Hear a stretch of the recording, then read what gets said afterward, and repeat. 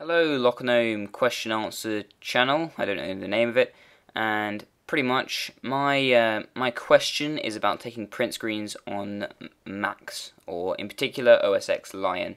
So I've been a Windows user for a few years now. Well, more than a few years, quite a few years. And obviously I've gotten used to that. There is a print screen key. I can press that, and that's just going to copy the whole screen to my clipboard, no problem.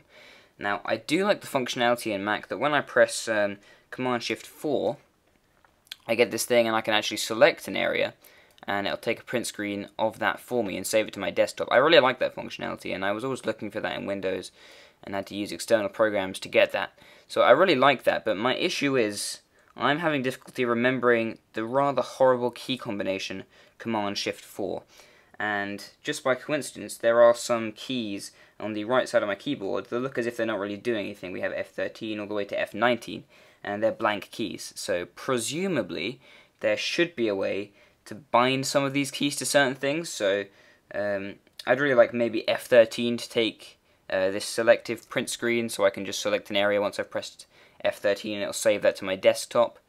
Um, and maybe just generally key bindings if I could set like F14 to lock my computer. I know that we have the uh, the corner system where I can go to a corner and it'll lock it, but it'd be really nice if I could, you know, bind stuff to these F keys.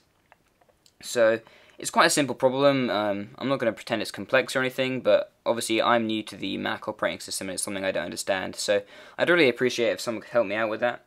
Uh, thanks, and have a nice day.